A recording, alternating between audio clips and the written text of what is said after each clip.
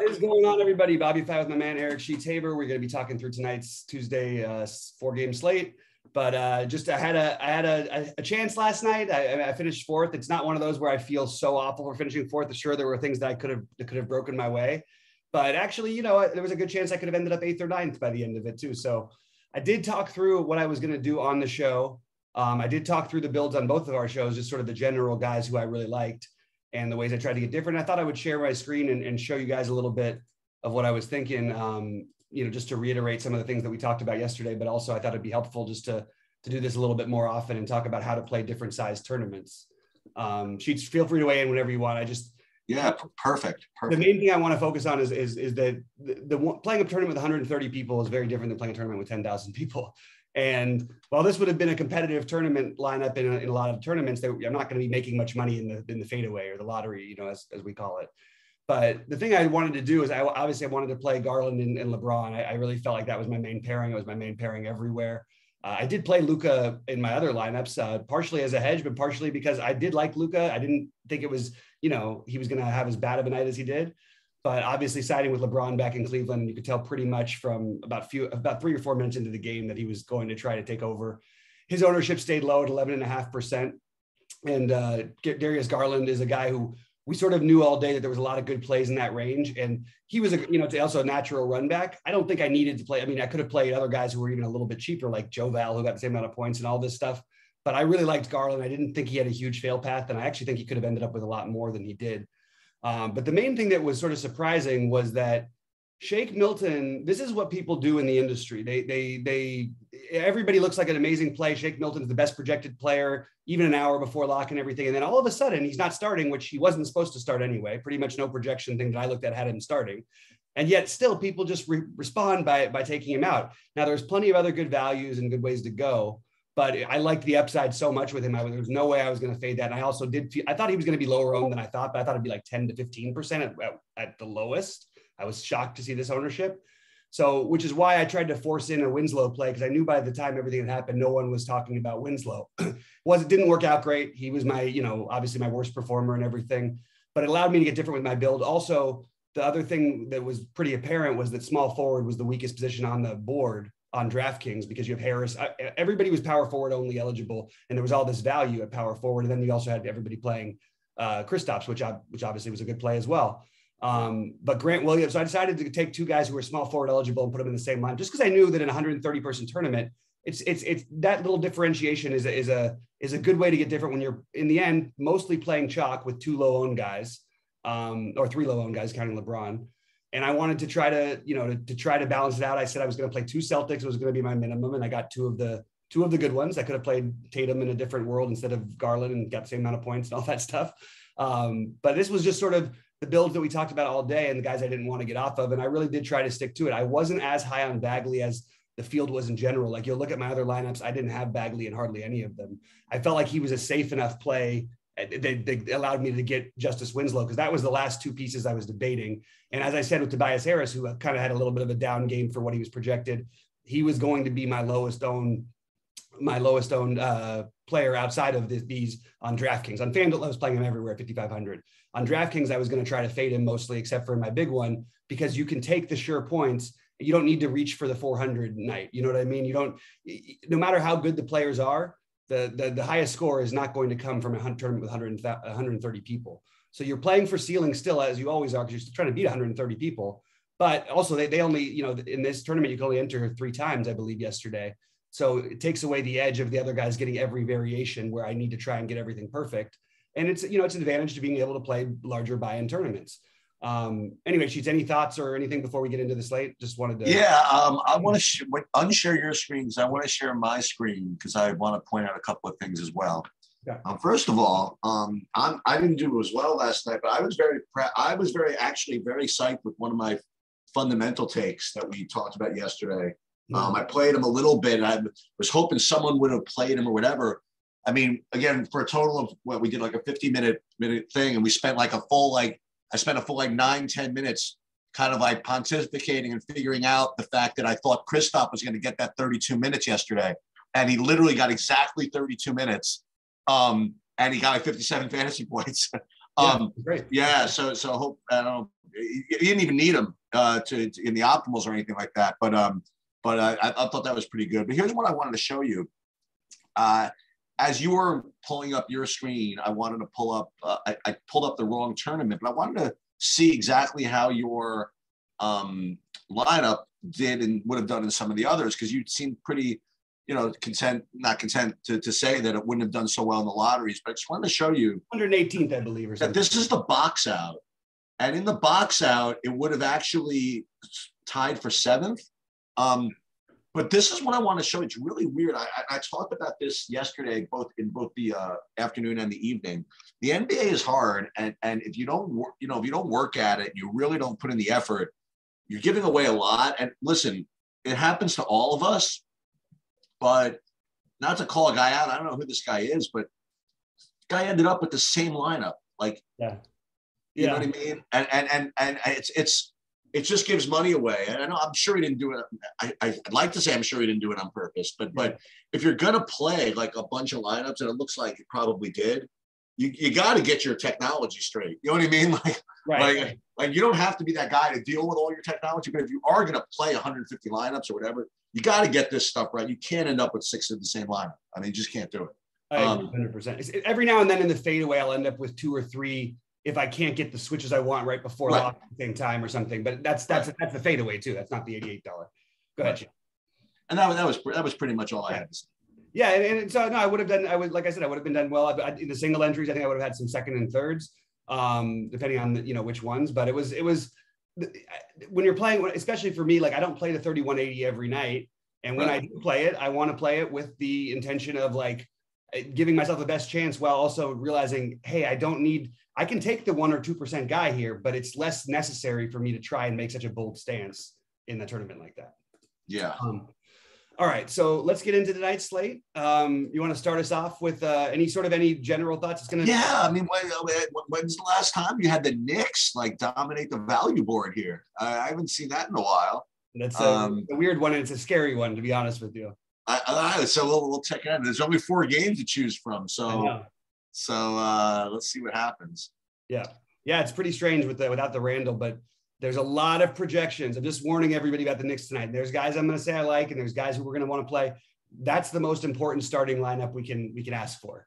Thibs will play his starters a ton of minutes if they, if things are going well. There's there's really outside of like Barrett, like no one other than Barrett and Burks, I guess, are guaranteed guaranteed their minutes and you have also they're getting Atlanta on top of it. It's also a rematch of who beat them in the play. There's a lot to that game, so we'll get into that one next. But but starting off with Golden State and uh, Orlando, it might seem tempting to force some things in here, but then you look at the rest of the slate and wonder what should I what, what kind of business do I really want to be doing in this game? What are what are your thoughts of the guys you want? I know Steph's out. Nobody nobody nobody play, nobody plays anymore. Um, who? I'm everybody's out for every every team. It's like oh, I know, I know. It's a lot of these are real are real things too. By the way, some of them are real, some of them are rest. But yeah, well, I mean, at least Draymond's back. He's playing. Draymond's I, back. I, go ahead. I don't like anything on Golden State. I mean, for openers, um, it's four games. I guess you got to play somebody, but I don't really like anything there. And then on, okay, so Orlando. All right, so let's let's start with fishy value number one. So Fishy value number one on the slate so far is, uh, and we'll get to, to, to, to bigger ones later, is I had Maurice Moritz Wagner looking like a good play at 4K. I have, I didn't even know he was on this team. Um, and I also see him getting some ownership. Um, again, four game slate, it, it's not, not, not surprising. Then um, that's, that's it. Ugh, can that all there be is Moritz Wagner and nobody else? I mean, that's what I got. I got no one from Golden State and, and, and Moritz Wagner. What a slate. Well, I listened to someone else talk earlier today that literally stated nine Golden State players as excellent plays. I don't know oh. how people could do that in turn, and, and, it just seems like a bad product to give to the people. Golden State, who are you gonna? Who, I don't. know. Yeah, there's a bunch of maybes on there. Like without Steph, like you could argue for Clay with the minutes being basically lifted. Um, yeah. You could argue for. I think Jordan Poole is a really good play. I mean, just just for those of you who do like to game log watch too, look at the game log, and that's with Steph a lot of those games, and he's getting there like a good portion of the time. So he's going to play for me. I, don't know what's going to happen with Draymond. I think Jordan Poole is like an awesome, awesome basketball player. He's just a streaky guy. So at, when he has ownership, it's a little more tempting to fade him. Draymond, I'm not sure how many minutes they're going to let him go. So I'm, I'm really just I'm up in the air on Draymond, but it feels like one of those spots where, God, if we don't play him, at least in some of our lineups, it's probably going to be a mistake because against this Orlando team, it literally does everything that he does. Without Steph there, he'll have the ball in his hand even more. Although you do still you do have Poole and Thompson and other guys who can handle. It's not like he's like the only one, but it'll run a lot through him. Um, so I'm sort of stuck on Golden State outside of, of Poole and Draymond as my probably my two favorites on DraftKings. On FanDuel, uh, I, I, think you could include Wiggins into the mix, but it, none of them feel great to me, to be honest with you. So I'm sort of in the same page, but I do feel like the Poole one is one that I could be scared of if I if I do fade it. On the Orlando side, I, I don't think there's anything particularly fishy about the Wagner play. His minutes are up. Okay. He, he plays all the time. His brothers play. His his brother, you know, his brother's the other, the other Wagner on the team. I like both of them tonight. Uh, Mo Wagner, for what it's worth, has put up he had the 13 fantasy point game in only 13 minutes against Philly, and he had an 18 fantasy point game last time. Other than that, he's been over 20 in the other six games in his last eight. Um, with value on this slate, that's definitely like something, you know, we have the questionable Knicks, but this is a little bit more, at least we know what his role is. And he's basically playing that role consistently. So I like Mo Wagner. Um, I'm open to RJ Hampton, going back to RJ Hampton. I actually think this game environment might suit him pretty well. I know he hasn't put up a great game for us yet, but I, I still think at his price, you can get away with that one. Um, so one of probably one of those guys you, you would consider to be a, a, one of the value plays here. And then I, I, I, feel like the same about Anthony Wagner, the, the Franz Wagner is the, the other Wagner.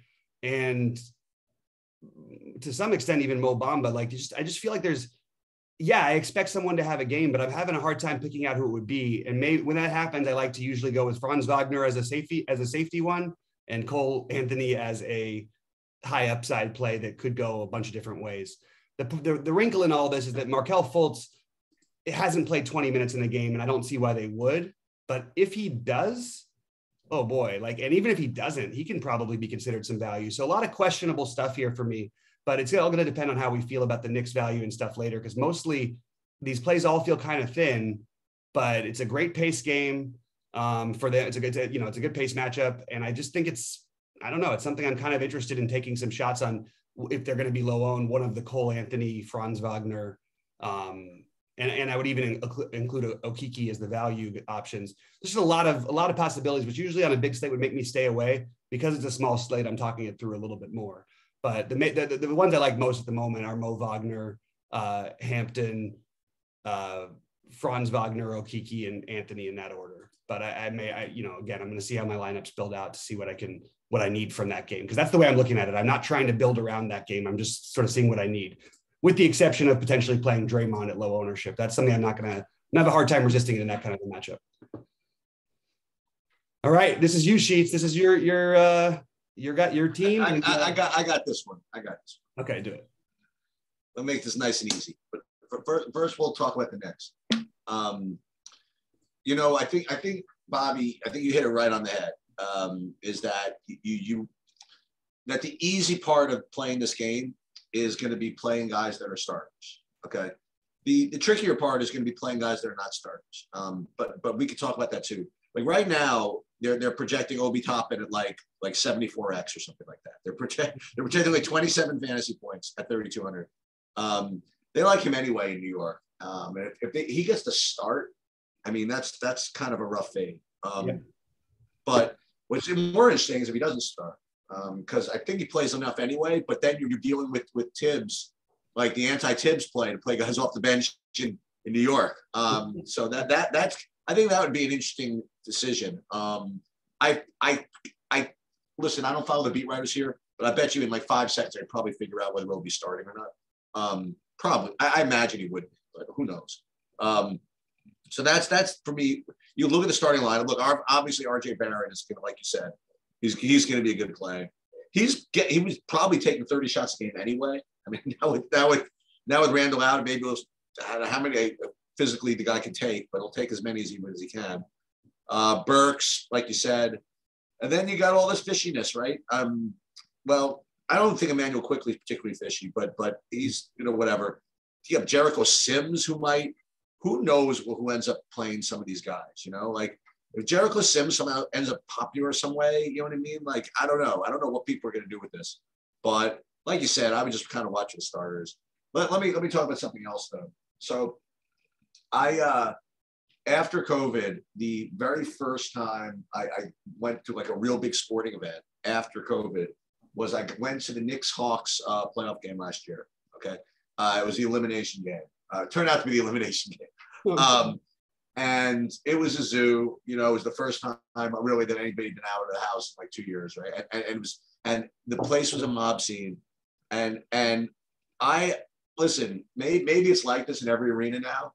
I have never seen a crowd so vocally getting after another player than they were going after Trae Young in this game.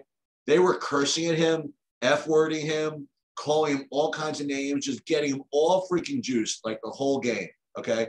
Uh, Trae Young, F. Trae Young, what God knows what. And he ended up just, you know, just sending the Knicks home for the season, right? This year, as I mentioned, um, you know, he's you're fading Trae at your own risk in general. Um, he's just been putting up all kinds of numbers, and he's not on the injury report.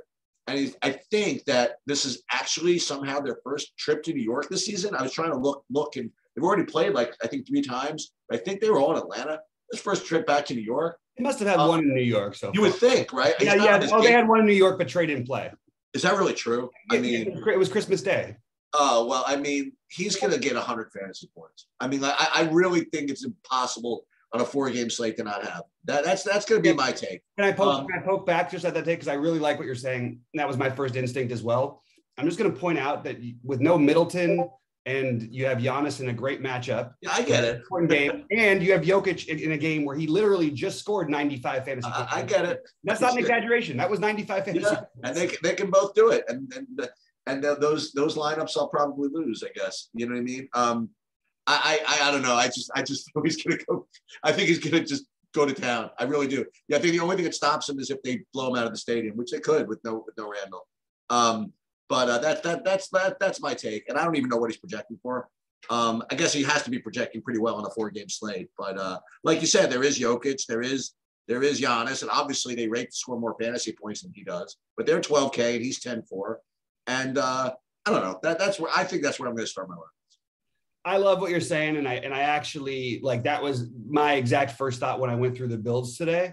Um, I just have a hard time with the, the other two situations as well. What you can sure. do is is middle it out with you know, and we'll talk about the other games, but I think it's important to talk about strategy. If you if you wanted to play like this, that that's the kind of lineup where you end up with a with a Jordan Poole as a 7400 guy to get you 40 something fantasy points. As a Jrue Holiday, you get Jrue Holiday, who's going to be popular anyway, but 7800. You just you just do a different ish build and just have to decide. Like if, if I hope Jokic and Giannis, only one of them gets 75 or something and then Trae has to do his part too. And Trae, Trae gets 65 and they get 75. You're happy about it, by the way. Yeah.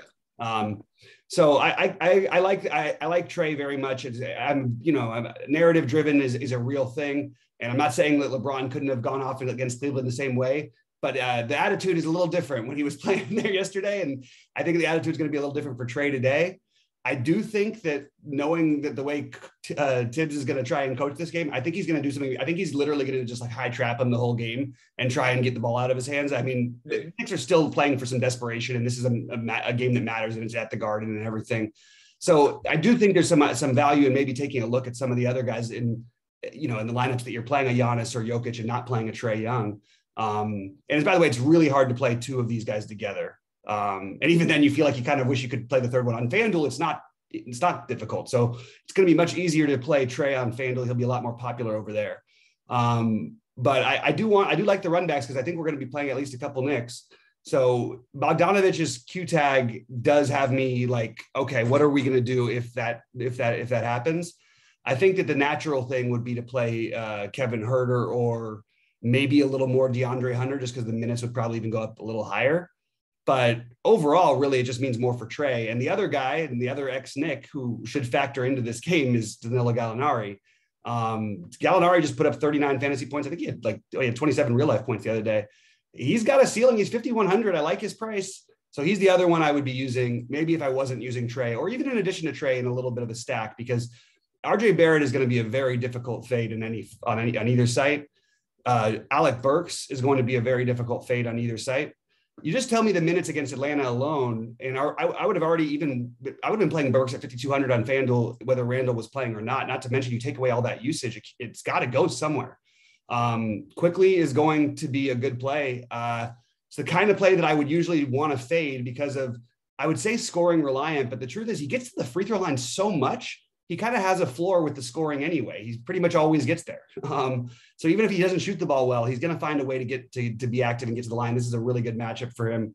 So in order, I have it as Barrett, Burks, Quickley, and the guys you're spending money for. And the guys you're not spending money for, I think that you could make just as good a case for Jericho Sims as Obi Toppin.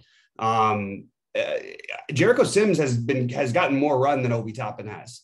Uh, they've liked him. He's been, you know, pretty consistently getting at least some run. You do have Taj Gibson sort of to muck things up. If you heard something weird like Taj Gibson isn't going to play tonight for sure because he hasn't played in a while, then you could go ahead and and and just literally divide these guys up. Um, you could feel you could actually load up. You could probably even get away with playing both of them if you want to know the truth. But I do think that you're gonna want to have. You're probably gonna have to have one of those guys, whether it be Sims or Toppin, uh, at least at my as my first look goes. And I, other people are going to play Capela. I'm not really that interested. I'm not loving the matchup for Mitch Rob. The guy who I'm going to make a way to point to go out of my way to play is Evan Fournier. Um, it's a good. It's just a. It's a good matchup for shooters. You have a similar type of thing, and he's you know he's cheaper than Quickley on FanDuel, for example, and he's been putting up, you know, his last four games 26, 31, 31, 38. Now you take Julius Randle out of the mix and you get Atlanta and you have no ownership on the guy. And I just think that I want to make a priority of trying to use him as a standout play. Now, I think by the end of the day, people are going to actually get onto the play a little bit, but he's not going to project well enough for them to. So, so I, I actually want to play. If I'm going to play three Knicks, it would probably be Barrett, Burks. Or probably be Barrett, one of Barrett or Burks with Fournier and Toppin or Sims. But I don't think the only thing is playing Burks, Barrett, and Fournier together is probably asking a little too much from similar type of guys. Or, but but again, they they, they are down, so it's it, it's doable today. Um, but I, am looking at playing Fournier over Quickley as a way to get really different on the slate. And more importantly, just that Fournier is going to be, you know, right now I've got him projected at 2% owned. I guarantee it'll be higher than that on FanDuel is projected at 10% that's a good way to get different on a four game slate for a guy who could actually end up going out there and score 30 life, real life points. So I wonder, I wonder uh, if you could just comment again on, on, on uh, what I suggested about, about starters versus non-starters. I mean, what, what, do, what are you inclined to do if, um, I think it matters more on the larger slates where people have a ton of options. And last night we had a ton of late breaking options. So there was a lot of, you know, the, the Washington situation with no Kuzma, you know, there was just a ton of things out there to, to take to try to take advantage of. So I, I don't think I don't know tonight. I, yeah, of course they're going to be lower owned, but Quickley is not going to be low owned, um, and he's not going to start. And Fournier is going to be much lower owned and is starting because we know the roles of the Knicks. Um, but Jericho Sims versus Obi Toppin, who basically have a similar range of outcomes. At one, for one to be you know 50% owned or 60% owned, the other to be 10 then you should start thinking about stuff like that. And Sims, you know, assuming that Sims doesn't start coming off the bench. And and by the way, if Sims starts, I would flip it. I would I would say, okay, well then Obi right. Toppin's a great tournament play. Yeah. So. Um, okay. Um, let me just uh, I want to share my this very highly proprietary algorithm that that led me to my Trae Young play. I just want to show you. Like this is all you need to know. I mean, okay, that's it, that's it. This is literally all you need to know. You just just YouTube Trae Young and F Trae Young. When I mean, it's literally it's all this is this is all it is. This is all Trae Young's about. Is coming to Madison Square Garden and shutting the fans up. It's literally his entire entire well, life right now. This could have been yesterday's slate, and I probably would have made it a priority. It would have been hard with the LeBron thing, but I would have tried to play. I probably would have had, had to not play Garland to try to fit in one of Giannis, Trae Young, or Jokic because all of these guys are in tremendous, tremendous spots. Let's let's let's get let's get into it. So let's yeah. let's talk about the Chicago Milwaukee. Um, you know, uh, Giannis 12 1. Um, you're going to need points. Uh, it's going to, I mean, if you, you're going to have to play either Giannis, Jokic, or Trae, or two of them. You know what I mean? Like, you're, you're, I, I really think that's where the points are coming from. But then, you know, again, there are other there are other guys like DeRozan is, is pretty cheap at 8,600 nowadays. Um, so I like that. Um, but for me, it's Giannis number one, and then and then DeRozan on the Chicago side. Let me see if what's his name projects well. Caruso again. Yeah, Caruso 4,100 projects well again. Uh, Vooch cheap enough, 7,700. LaVine cheap enough, 7,500. and and and Milwaukee, I just don't really play these other guys. Um, but like you said, maybe something like Jrue at 7,800 is, is a way to get some of this other stuff in. So, uh, what, what do you think? What do you think of this game? Yeah, I mean, this is look, this is the this is could be a fun game. I'm a little worried about. I mean, Chicago's been one of the worst teams in the NBA. Uh, and it's it's not it's not my man Caruso's fault. First of all, nothing's ever Caruso's fault. I want to just give the guy a hug and tell him that because I love him and I miss him so much in LA. But uh, uh, since he's come back and even before that, they've just been terrible. And DeMar DeRozan is probably worth noting that this guy hasn't scored over 40 fantasy points. His highest was 41.75. He's he hasn't been at 50 but once in his last 11 games, and we want to play him yeah. at 8600. Let's think about that for a second. You know what I mean? Now, yes, all, all the situations about them staying in the game and everything the game could mean, they all lead you to want to play him. By the way, he took 30 shots the last time these two teams played. Uh, he only made 11 of them. He only had 44 fantasy points, but that's a that's a lot of usage. um, uh, I, I, like all of these guys, and it's really hard for me to separate them, um, except for the fact that I would say that LaVine tends to be lower owned and maybe won't be today because he's had two really two big games lately. But at his price, I really like that that opportunity that that idea. And then I really like Vooch. Um, but I I think you I think that Vooch is a little bit more. They're all a little better plays on FanDuel, to be honest with you. Uh, and this is what you do if you're not going to build. I think you want to try to play one of these three guys in a normal build. Now, if you're going to play Trae Young and Giannis or Jokic, you can't do that. No. I don't think. Um, but well, I mean, you play Jericho possible. Sims and all that stuff. You know, like I don't even know. But can you can you can you throw it up there and see how much is left if you played those guys sheets just for one second? Just just if you played Trae Young, let's say DeRozan. Uh, yeah, see, you can't really do it with DeRozan, but you could do it maybe with a LaVine or a Vucevic if you had literally everybody else at 3K or less. So if we had similar news as yesterday, that would have been the kind of slate you want to do that. Um, but I, will just say in, in order of what I'm going to be playing on on FanDuel, it'll be uh, Vo- uh, DeRozan, Vooch, then LaVine. On DraftKings, it'll be LaVine, Vooch, then DeRozan for me, um, just because of pricing and lineup construction. And then on Milwaukee side, uh, Bobby Portis, I don't care that it's not the normal revenge narrative at 5.6 on FanDuel. Bobby Portis is like, by, he's, I, I, would say he's almost more of a priority for me than Giannis. Cause if Giannis doesn't get there, you get sort of the double, the double sway, you know what I mean? Um, but if you like, you know, if Portis puts up Portis, Portis can go out there and put up 40 or 50 in this game, and then keeping Giannis in the 50 to 60 range. And and I think you, I mean you could play them both together on FanDuel pretty easily. But I really like Portis. I don't know if I'll get to him as much on DraftKings. Um, I like Holiday a lot as well. So in, in order of ranking, I think Giannis is obviously number one, but it's hard to get to him. So Portis would be my second. Uh, sorry, Holiday would be my second favorite. Portis my third on DraftKings. Portis my second favorite on FanDuel. Holiday my third favorite on FanDuel. Actually, Portis might be my favorite on FanDuel ahead of Giannis. They're really close.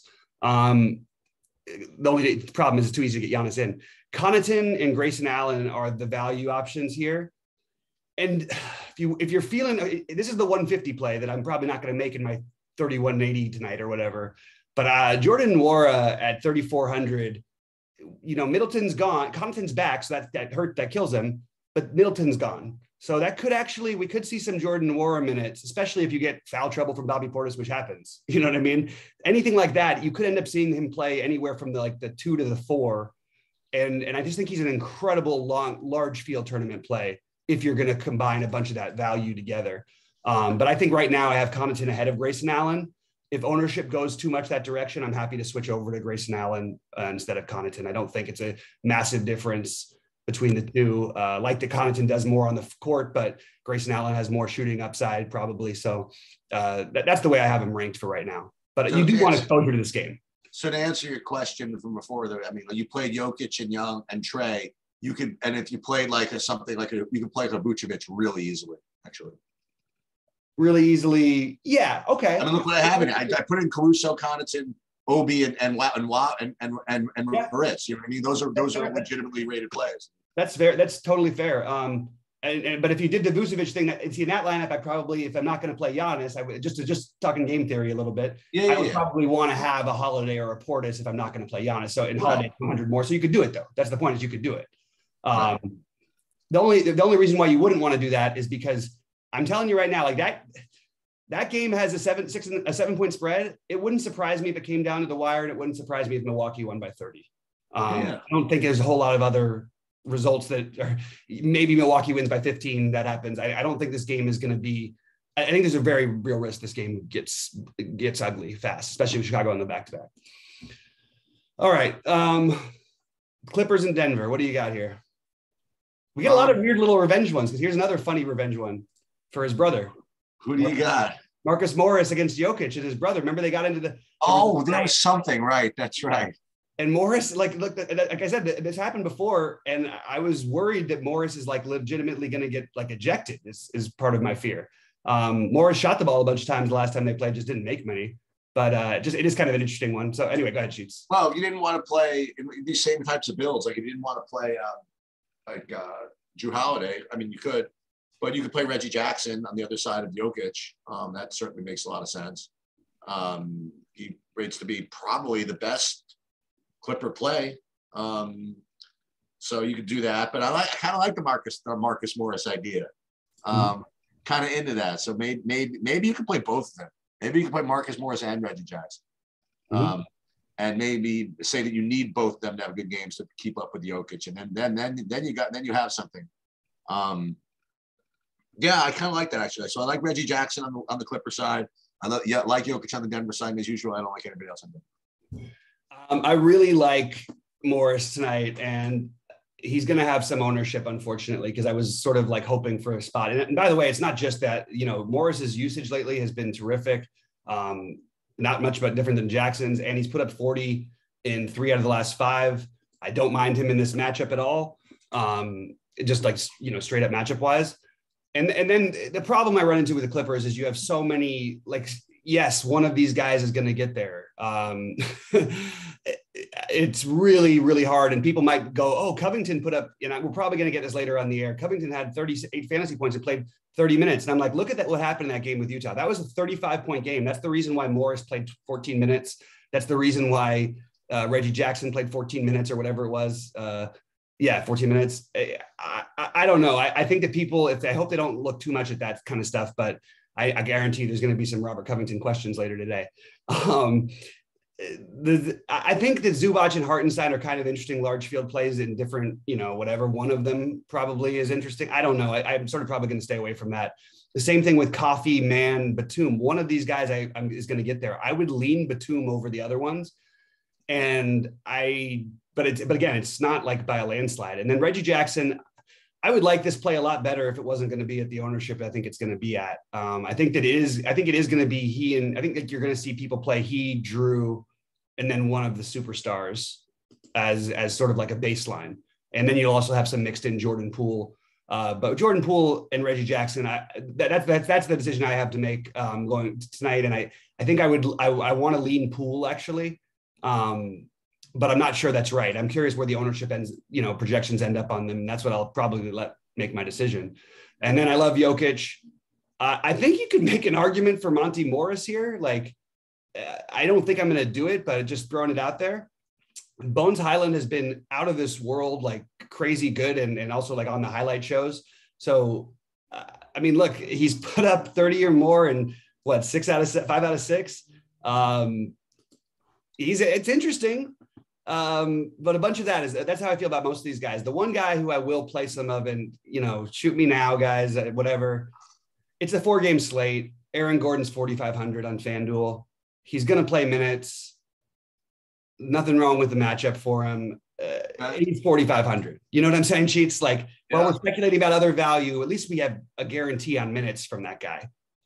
So Oh, and by the way, going back to it, I do like Caruso in that Milwaukee game as well as another value piece that you mentioned. Um, all right. Um, should, should I go through my my plays real quick because I've got some priority here. Yeah. So I think one of Morris or Jackson, I, I, you could play them together, but I, I probably am going to play just one of those guys in, in, in my lineups.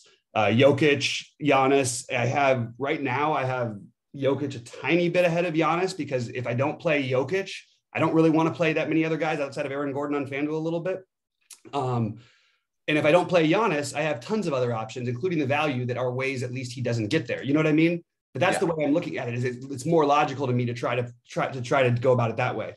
I really like uh, uh, Trae. I don't mind Gallinari in that game. Barrett is gonna Barrett and Burks are near how do we? They're like in the near how do we fade them category. But maybe instead you play Fournier instead of one of those guys, or the other one is which is Quickley. Um, uh, one of DeMar DeRozan, LaVine, or Vooch. I announced. I said already my my favorites on those on each site. Um, and then if you're not playing Giannis, you want to play of Holiday or Portis probably, or you want to play you know Connaughton maybe and uh, and uh, uh, Grayson Allen, something weird like that. Because without Middleton, we don't know exactly what the rotation will look like.